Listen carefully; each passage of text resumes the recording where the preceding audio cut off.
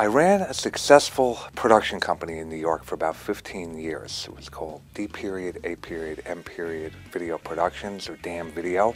Slogan was if it looks damn good. With my production schedule, I always allotted one day a week where I taught. And that led me to uh, several universities, but eventually Hofstra. And I brought in sort of a professional background of working in production into the classroom. I like to uh, develop curriculum that uses very real world examples of production. So I, I like to teach students um, to create and write and come up with scripts and ideas. And then the word I like to use is translate them into sound and pictures. A real labor of love for me is a, is a project I've been working on over the last few years called Life Lessons.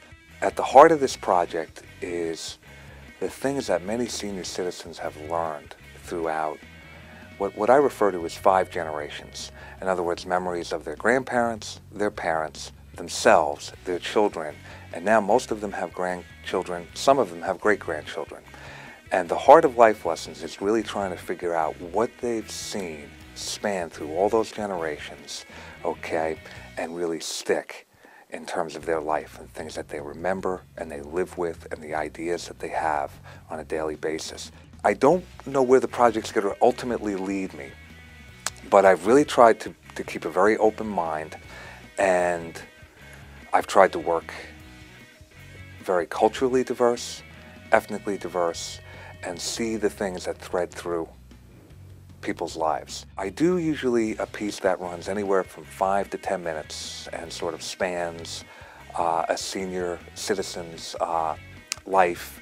Uh, it could be anything from just tracking their life through memories of their grandparents to parents, uh, through the war, uh, to the current you know, lifestyle that they live. I've also tried to take the pieces and shorten them up and do a one minute so almost like a PSA with, with just a couple of highlights of things that really stood out to me that, that people have learned and share and do in their life. You know, the senior citizen population is one that uh, we all hope to join at some point and you know to, to share what we've learned and um, to, to you know have people hear about our lives and what we thought was special and what maybe even we, we know is special.